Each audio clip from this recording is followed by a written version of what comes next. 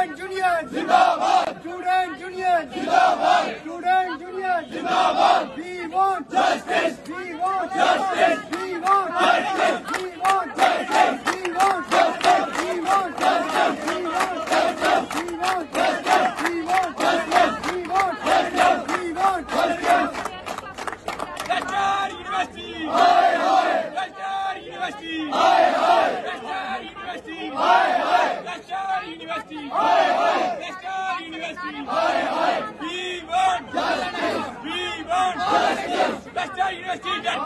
Please, Father. करती है। डरती है। पुलिस को आगे करती है। डरती है। पुलिस को आगे करती है। जितना भी कोरोना है वो अभी सामान्य हुआ है। लेकिन जो हमने पढ़ाई की है वो पहले के टाइम पे किया और एग्ज़ाम हमारे को पहले के टाइम को देख के वो भी लिए जाएँगे। ऐसा तो नहीं है कि हमारे को अभी पढ़ा रहे हैं और उसके बाद एग्ज़ाम लेंगे। क्योंकि जो हमारे को पहले पढ़ाया हुआ है वो उस टाइम जितना भी था वो ऑनलाइन सिस्टम था।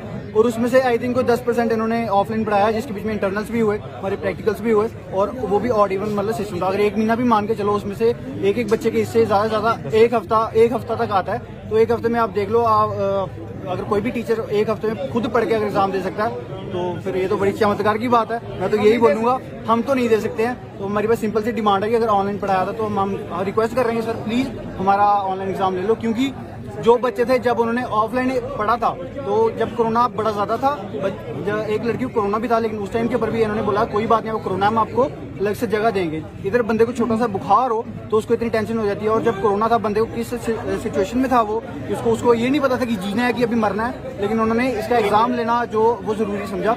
अगर पढ़ाया ऑनलाइन किया है तो पेपर ऑफलाइन क्यों? और दूसरी ये बात करते हैं वीसी सर कि हम महीना, डेढ़ महीना आपको पढ़ाएँगे। क्या हम हमें आगे एडमिशन मिल जाएँगी?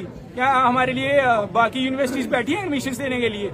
या वीसी सर भेजे सबको मेमोरेंडम कि हमारी एडमिशन ले लेंगे क्लस्टर यूनिवर्सिटी के स्टूडेंट्स की? तो हम सिंपल सी डिमांड करते हैं ऑनलाइन एग्ज़ाम्स क्योंकि हमें पढ़ाया गया ऑनलाइन अगर हम बात करें एक और